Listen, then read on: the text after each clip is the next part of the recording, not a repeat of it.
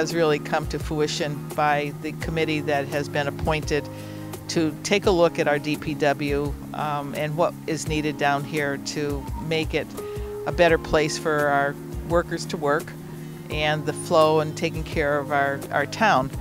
Um, long overdue. Uh, we don't have a big enough facility down here to take care of everything. So this is what they're doing, and we have a great committee that uh, has been formed that has taken this all in. They're doing an open house today on this day, so everybody can see where your town taxes have gone for many equipments that have been bought. So we need a place to put them to take care of them so they can work on them, wash them down after having them out in the ice and the storm. So this is where we're at today.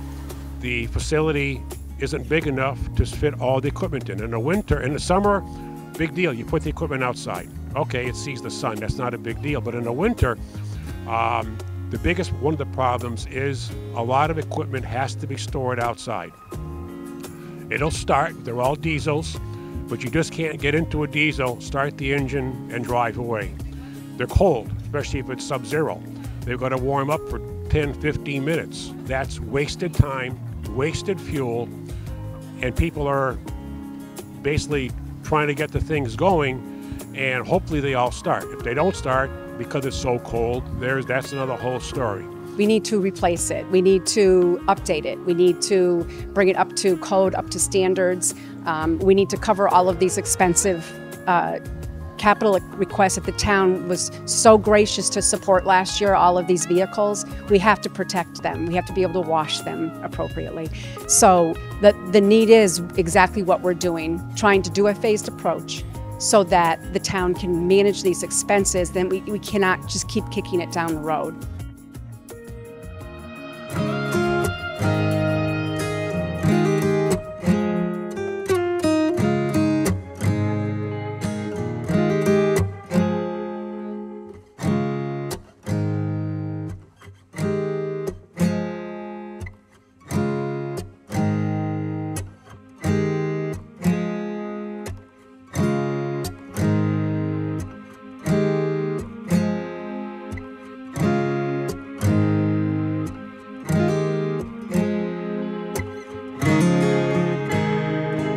Original town garage was built behind Most Holy Redeemer Church. That was probably built in about the 1940s, I'm guessing. It was a bunch of, uh, it was a little wooden structure, and back in the 40s, it served the town well. Back then, it was built for um, pickup trucks, small six wheel dump trucks, very small, and some tractors. In, in approximately 1970, this garage um, was designed and built by a building committee and it was designed for you know bigger equipment, you know, bigger six-wheel dump trucks, a little bit bigger tractors and stuff like that. Then, beginning in about this was built, I think this was occupied in late '71, and then that's when the town kind of bloomed, for lack of a better term. Um, Route 9 began to get heavily developed.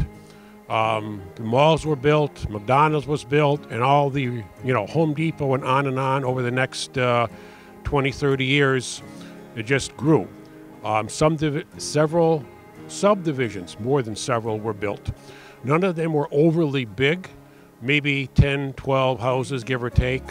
But when you start getting all those new roads in town, there's a lot more road for the town to take care of the highway department and the water and sewer became DPW, one big group. Um, all these roads and other things, services, sewer was expanded in uh, that time. Sewer went all the way to North Hadley, through to what they call the intersection of Stockbridge Road and McCretsky's Corner. The uh, town water was expanded all the way to the uh, Hockanum South Hadley town line. All of these required more people, more equipment, bigger equipment, etc. And the, the, the, town grew, um, not so much in size of land, but in size of services. And we are what we are today. Um, yeah, you see some very nice equipment here. It's it's the town for a number of years. The highway department um, was living with old stuff. Well, we've the town and through various grants, etc. We've got some nice new equipment. We want to take care of it, and that's where we are today.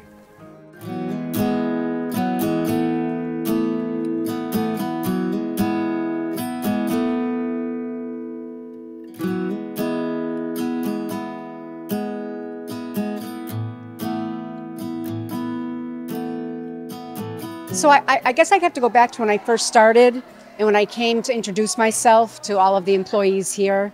And when I uh, walked into the trailers, which was the uh, admin place, and then I saw the break room, and uh, I was concerned immediately about the conditions. And my concern was number one, the health of the employees, as well as um, gate, you know, how do we entice an employee to work in a setting like like this? Because um, when I got here, the 30-year-old trailers that were we bought when they were used um, were not in good shape. You could walk in, you could immediately smell the mold. You knew that there was issues there. Um, so one of the good things that happened when um, ARPA, those funds that came from the um, the federal government to support communities who had lost revenue due to COVID, um, there was money available for us to at least renovate those trailers. So they put new windows, new heating and cooling system.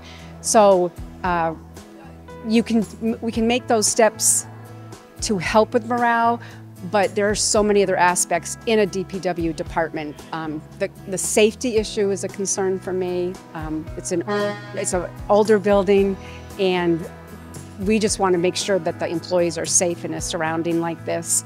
Um, but they need to have a healthy place to work, no matter whether it's the garage, whether it's outside, whether it's washing the trucks, um, some of the things that we can't do uh, really to help preserve our, our equipment.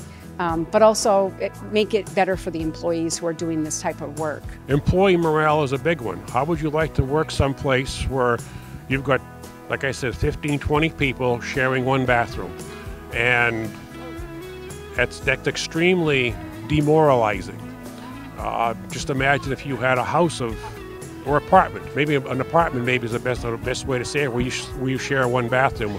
You know, it, it, there's just a lot of in, in not just inconveniences, but demoralizing to the employees. When you are happy to go to work because you've got a nice facility that at least meets your minimum needs, it's much easier to go to work, and you're more happy to work there. Um, there are no. I know there are no. There are no female um, DPW workers besides the office staff. But what if that happened? What happens? They would all sh- right now. They would all share the same bathroom, just like the office workers and the DPW workers do. Um, I'm not going to say that the new bathroom wouldn't be unisex by any stretch, um, but at least you would have some kind of demarcation where you would have a male and female area so that everybody would have their own appropriate privacy. And I mean, just imagine 15, 20 people sharing one bathroom in a house. That's essentially what you have today. Like there's one urinal and one toilet.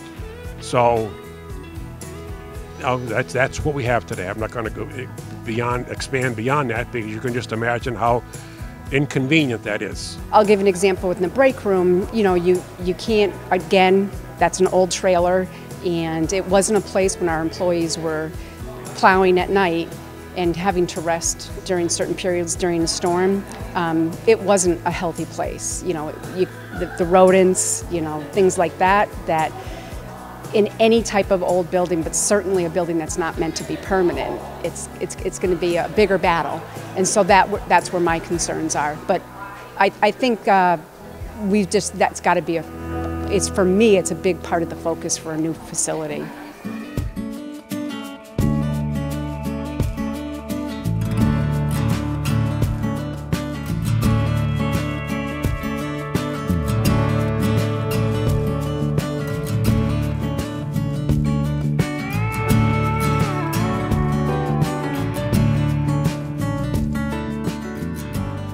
Problems is a lot of equipment has to be stored outside.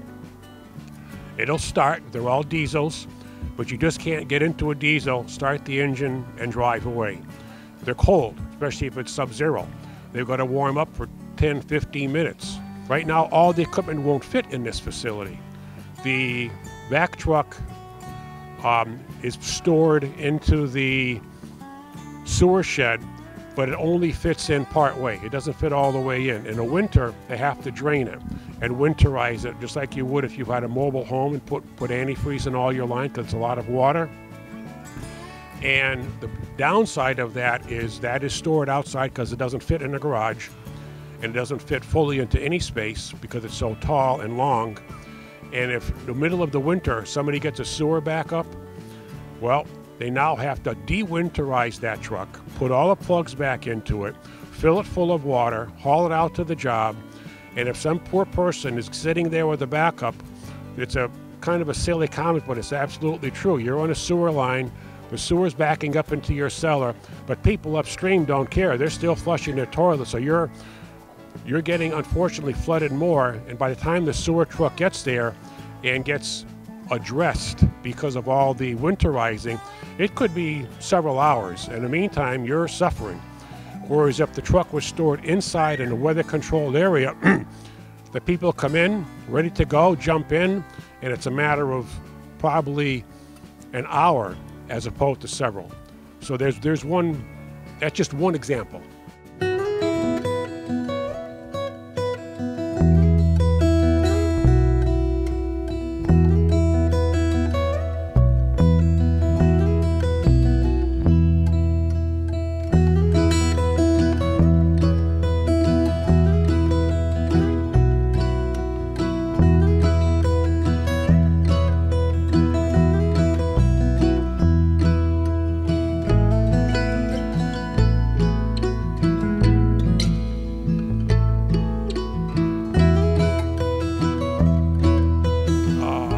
As maintenance wise, things are cramped.